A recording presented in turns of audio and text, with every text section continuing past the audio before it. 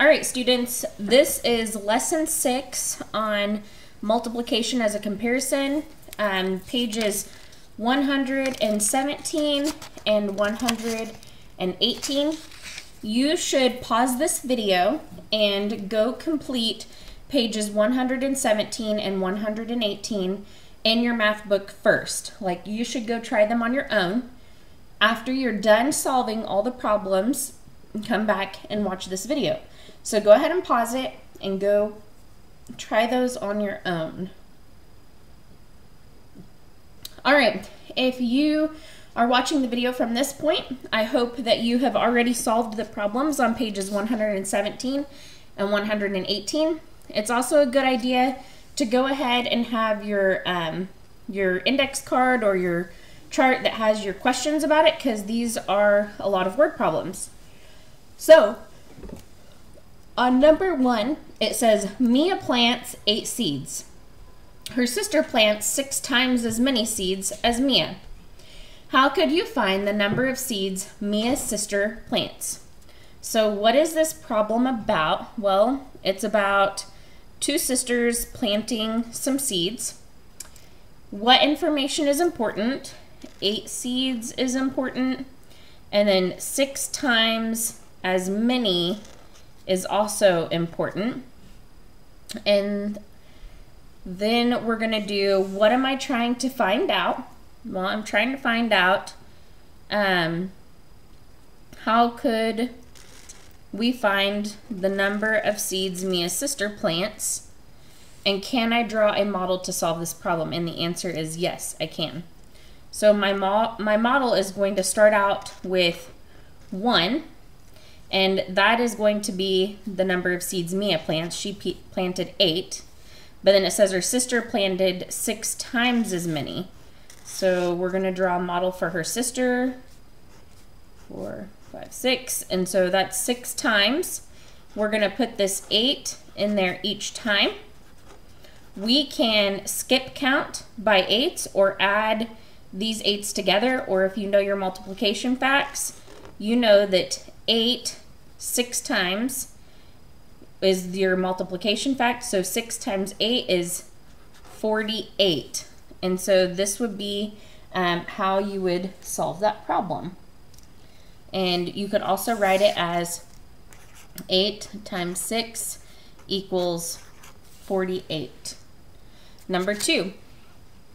How is 4 times as many as 7 related to 7 times as many as 4? Well, they have equal values.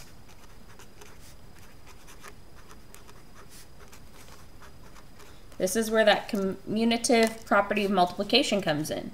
So 4 times 7 equals 28, but also 7 times 4 equals 28. You can reverse those two numbers and you're still going to get the same answer. Number 3. Sergio found four pennies on the ground. His sister said she found two times as many pennies.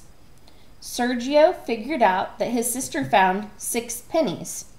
What did Sergio do wrong? Oh, okay. So he found four pennies and his sister found two times as many. So it should have been four times two equals eight, right? But instead of eight, he got six. Can you see here what he did where he would have maybe gotten 6 instead of 8? Well, if you look right here, 4 plus 2 equals 6. And so Sergio added when he should have multiplied. And that is the mistake that Sergio made. All right, page 118. All right. Paige, that's my other daughter's name, Paige and Ben each babysit one week. Paige babysits for three times as many hours as Ben.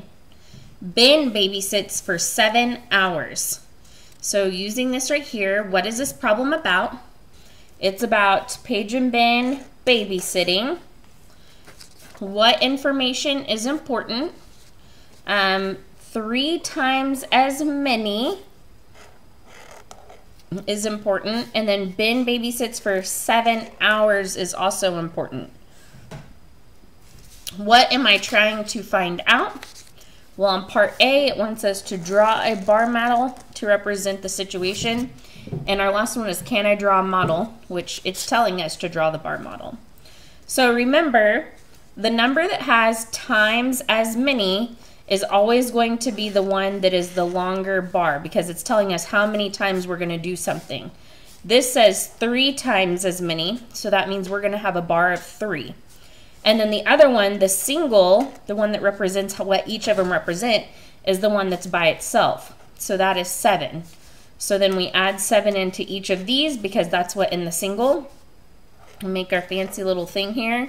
So 7, 14, 21, if I'm skip counting, it's almost like having pluses in between each one. Or you can do 7 times 3, which equals 21. So that is our bar model. Then on part B, it says, look at your model. Now write a different word problem that could also be represented by the model. Then write an equation that that model represents. Um, this is going to be, all of you are going to have something different here. So I recommend having your parents take a look at this one, but your equation should all be the same. It should either be 3 times 7 equals 21 or 7 times 3 equals 21. And then our last one, number 5, show two ways that you can think about 5 times 8 as equals 40 as a comparison. So one way is you can do um, 40 is 8 times as many as 5. Or you can do 40 is 5 times as many as 8. And those are your two comparisons. This is it for lesson six. This week you're also completing lesson seven, so you do have some more videos to watch, but I hope you got all of your answers right. Um, if you didn't get them all right, then you need to let Mrs. Landburg know so you guys can work on those.